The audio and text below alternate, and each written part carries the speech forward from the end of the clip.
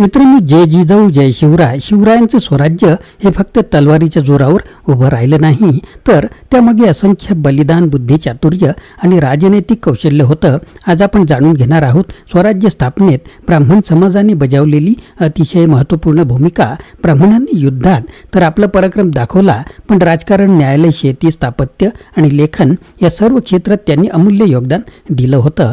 कायस्थ प्रभू ब्राह्मणांची युद्धातील पराक्रम सारस्वत ब्राह्मणांची राजकारणातील धोरणं आणि ब्राह्मणांचे दूत म्हणून राजनैतिक योगदान हे सर्व शिवरायांच्या स्वराज्याच्या यशस्वीतेमागे नक्कीच होते. चला तर मग या इतिहासाच्या पानामध्ये डोकावू आणि जाणून घेऊया या असामान्य योगदानाची कहाणी. मित्रांनो यापूर्वी सुद्धा मी याच विषयीचा एक पार्ट वन बनवलेला आहे.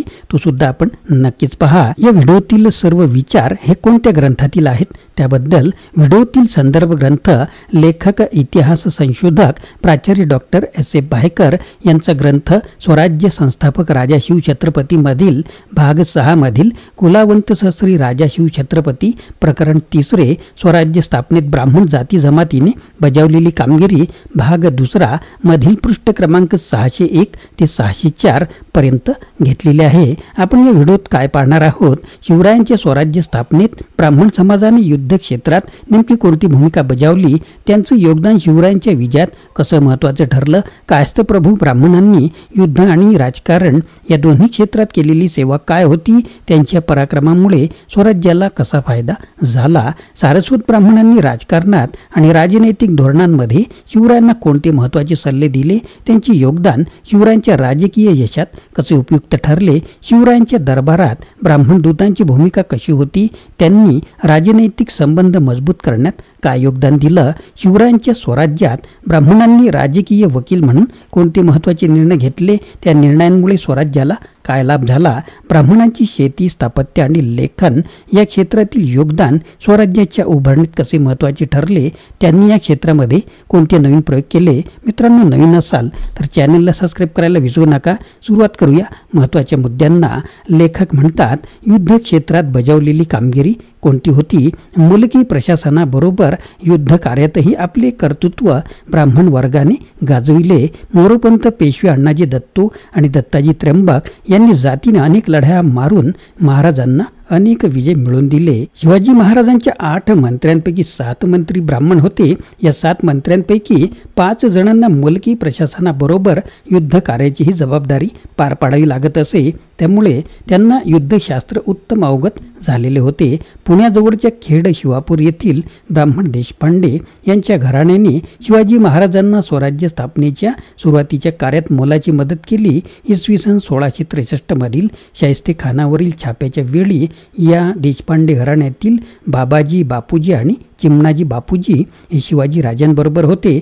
जावळीच्या मोरे प्रकरणात रघुनाथ बल्लाळ सबनीस या ब्राह्मण अधिकाऱ्यांचे खूपच सहाय्य शिवाजी महाराजांना लाभले. इसवी सन सोळाशे साठच्या जुलै महिन्यात शिवाजी महाराज पन्हाळ्याहून निसटताना त्यांनी पन्हाळागड त्र्यंबक भास्कर या ब्राह्मण अधिकाऱ्यांच्या स्वाधीन केला आणि त्याला असे बजावण्यात आले की तो जोपर्यंत किल्ल्यावर असलेल्या अन्नधान्याचा आणि लष्करी दारुगोळ्याचा साठा संपत नाही तोपर्यंत हा किल्ला शत्रूविरुद्ध लढवावा. किल्ल्यावरील उपरोक्त साठा संपल्यानंतर गडशत्रूच्या ताब्यात देऊन त्यांच्याकडून जीवनदान आणि भरपूर पैसा घेऊन गड शत्रूच्या हवाली करण्याची आज्ञा महाराजांची होती. त्याप्रमाणे त्र्यंबक भास्करने किल्ला मोठ्या शौर्याने आणि कौशल्याने लढविला. शेवटी शिवाजी महाराजांनी विजापूरकरांना पन्हाळा किल्ला हवाली करावा अशी आज्ञा प्राप्त होताच जीवदान आणि काही रोख रक्कम घेऊन पन्हाळा किल्ला विजापूरकरांच्या स्वाधीन केला. यावरून ब्राह्मण वर्गाने युद्ध क्षेत्रात केलेल्या कामगिरीची सहज कल्पना येते. कायस्थप्रभू जातीच्या ब्राह्मणांनी बजावलेली कामगिरी कायस्थप्रभू जातीचे ब्राह्मण हे लेखणी बहादर आणि तलवार बहाद्दरसुद्धा होते. शिवाजी महाराजांनी बाळाजी आवजी यांची चिटणीस म्हणून नेमणूक केली. हाच मुळी त्या कायस्थ प्रभू ब्राह्मण जातीच्या कौशल्याचा गौरव होता. नीळ प्रभू हा महाराजांचा पार सबनीस होता त्याला पारसी भाषेत चांगली उगत होती. त्याची काही फारसी भाषेतील पत्रे उपलब्ध आहेत. प्रत्येक किल्ल्यावर आणि लष्करी खास्यात कारखानीस हा प्रमुख प्रभू जातीचा असला पाहिजे असा महाराजांचा दंडक होता. शिवाजी महाराजांच्या कायस्थ अधिकाऱ्यांपैकी बाजीप्रभू देशपांडे आणि मोरारबाजी देशपांडे यांची नावे पराक्रम तसेच स्वामीनिष्ठा या बाबतीत मराठ्यांच्या इतिहासात अजरामर झालेली आहेत. याशिवाय हेर आणि वकील म्हणून इंग्रजांशी वाटाघेटी केल्याचा उल्लेख तत्कालीन कागदपत्रातून आलेला आहे. विश्वासराव नानाजी दिघे यांनी अफजल खान प्रसंगी हेर म्हणून उत्कृष्ट कामगिरी बजावली होती. तसेच कुंभार जुव्याचा कायस्थ गोविंद विश्वनाथ प्रभू यांनी सिंधुदुर्गाच्या बांधणीत मोठा वाटा उचलला होता. यावरून कायस्थ प्रभू ब्राह्मण जातीच्या विविध क्षेत्रातील कार्याची ओळख पडते सारस्वत ब्राह्मणांनी बजावलेली कामगिरी शिवकालापूर्वी काही शतके आधी महाराष्ट्राच्या पश्चिम किनाऱ्यावर दक्षिण भागात स्थायिक झालेल्या सारस्वत जातीच्या लोकांचा इंग्रज आणि पोर्तुगीज या युरोपियनांशी दीर्घकाळ संबंध आलेला असल्याने त्या लोकांच्या रीतिरिवाजांशी तसेच इंग्रजी आणि पोर्तुगीज या भाषांशी त्यांचा चांगला परिचय झालेला होता. त्यांच्यातील नेमके हे गुणवैशिष्ट्य हेरून महाराजांनी सारस्वत ब्राह्मण जातीचा उपयोग मुख्य दुभाषी आणि वकील म्हणून करून घेतला. महाराजांतर्फे पोर्तुगीज इंग्रज आणि कुंडाळचे सावंत यांच्याशी अनेक वाद तहाच्या वाटाघाटी करण्याचे काम पितांबर शेणवी या सारस्वत गृहस्थाने केल्याचे इतिहास प्रसिद्ध आहे. राजनैतिक दूत अथवा वकील या नात्याने बजावलेली कामगिरी शिवाजी महाराजांचे राजनैतिक प्रतिनिधी या नात्याने ब्राह्मण जातीने स्वराज्याच्या राज्यकारभारात महत्त्वाची कामगिरी बजावली होती. या संदर्भात सोनपंत डबीर पंताजी गोपीनाथ बोकील रघुनाथ पंत आणि प्रल्हाद निराजी यांची कामगिरी लक्षात घेण्यासारखी आहे. इसवी सन सोळाशे एकोणसाठच्या अफजल खान प्रसंगाच्या वेळी पंताजी गोपीनाथने महाराजांचा वकील या नात्याने आपले कौशल्य प्रकट केले होते.